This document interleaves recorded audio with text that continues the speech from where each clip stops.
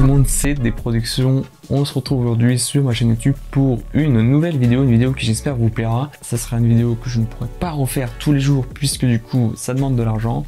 Aujourd'hui je trouve pour une vidéo d'un montage d'un ordinateur à 4000 euros. 4000 euros c'est une somme très conséquente donc vous allez vous douter que je ne vais pas faire ce genre de vidéo tout les 4 matins un peu comme gros youtubeur high-tech puisque du coup moi je ne suis pas sponsorisé, je ne suis pas non plus en partenariat avec quelconque marque dans l'high-tech. Cet ordinateur je l'ai monté, je l'ai fait acheter à ma société pour pouvoir l'utiliser au travail pour travailler tout simplement. Donc tous ceux qui vont penser que cette configuration est overkill pour faire du jeu vidéo, oui et non, mais cette configuration n'a pas été pensée pour faire du jeu vidéo, elle a été pensée pour travailler de la 3D, du motion design et du montage vidéo. Si vous aimez du coup ce genre de contenu et que vous en voulez un peu plus sur la chaîne YouTube, il va falloir du coup essayer de vous abonner, de partager mon contenu si jamais il vous plaît, si vous plaît pas, ça sert à rien. Comme ça je pourrais être amené à du coup être mis en contact avec quelques marques pour avoir des composants par-ci par-là, pour pouvoir du coup monter des petites configs ou même des plus grosses configurations que je pourrais faire gagner même à la communauté. Mais pour cela, il faut du coup être en contact avec des marques et pour être en contact avec des marques, il faut avoir de la visibilité,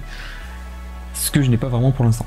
Le résultat final de l'ordinateur est vraiment incroyable, je le trouve vraiment très beau, je vous ai fait des plans que je trouve aussi pépites, en fait ils sont vraiment trop trop beaux, et je remercie aussi du coup Kayoko Hello, euh, qui du coup euh, m'a aidé à faire ses plans finaux, et m'a aidé euh, aussi pour 2-3 bricoles durant le montage de l'ordinateur. Bon en tout cas c'était tout, j'espère que vous allez apprécier la vidéo, et je vous laisse avec la suite, le montage de l'ordinateur.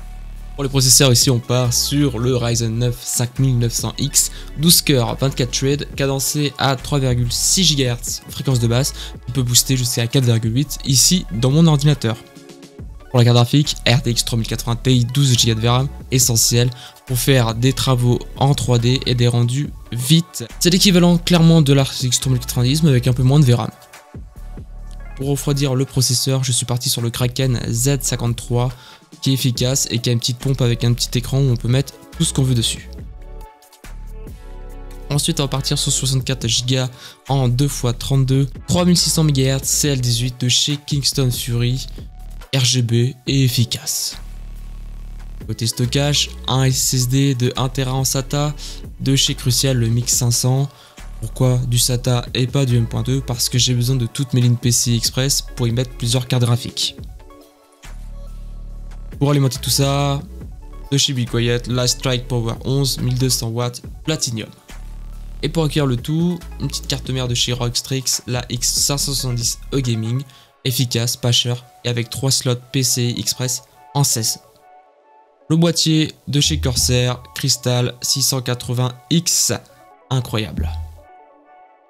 Pour les benchmarks, ici, le 5900X obtient un score de 8650 sur Cinebench R20. C'est le double du 5800H que je vous ai présenté sur les nouveaux Legion 5 Pro. C'est vraiment très très bon. La 3080 Ti ici obtient un score de 678 sur Octane Benchmark, moteur de rendu 3D, je le rappelle. C'est plus de deux fois ce que fait la 2080 Ti. C'est vraiment énorme, incroyable. Sur Shadow of the Tomb Raider, avec la Tomb 80 Ti, on a 155 images de moyenne en Quad HD, donc 2560 par 1440, tout en full ultra. C'est vraiment très très bon. Alors sur 3D Mark, on obtient seulement un score de 16 755 sur la partie graphique.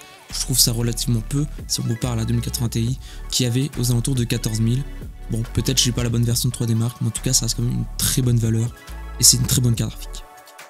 Pour tous ceux qui se demandent, j'ai aussi du coup rajouté une GTX 1080 Ti dans la configuration, ce qui fait que du coup, ben, vous avez une carte supplémentaire dans les rendus finaux.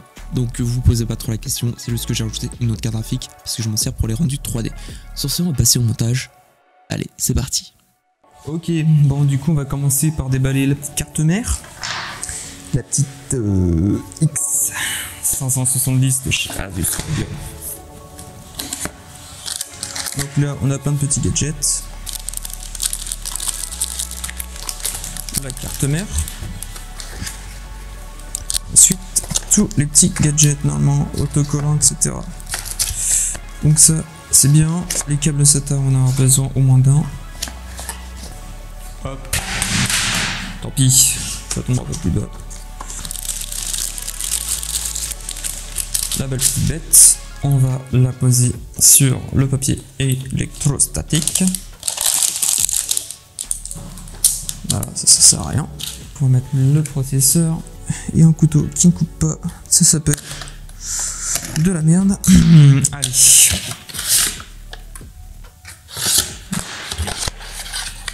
Une si grosse boîte pour un si petit truc. C'est toujours pratique. Ici, on vient tirer la languette. On regarde le petit détrompeur. La petite flèche ici. Et on va la retrouver ici. Donc, normalement, c'est là.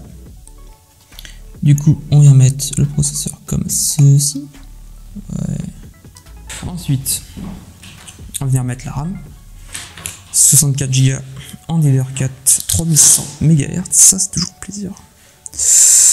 Hop. Ok. C'est fait.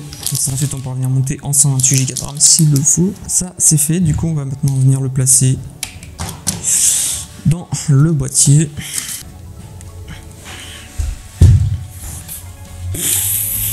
Oh, le bousin, quoi.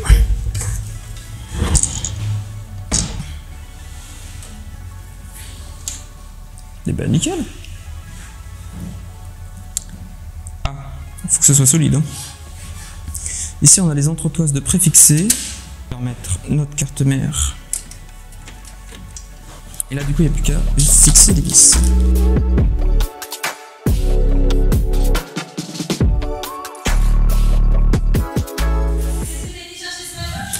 Ouais.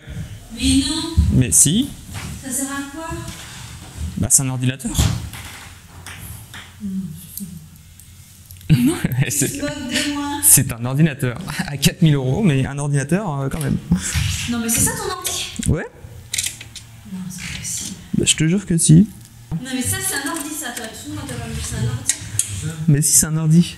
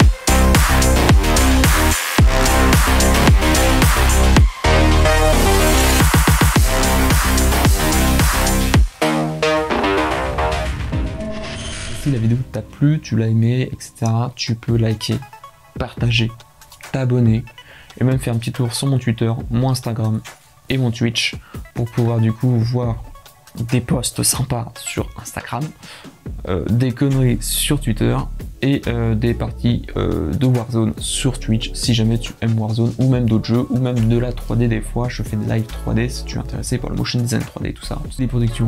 Je vous dis à plus pour une prochaine vidéo. Allez, salut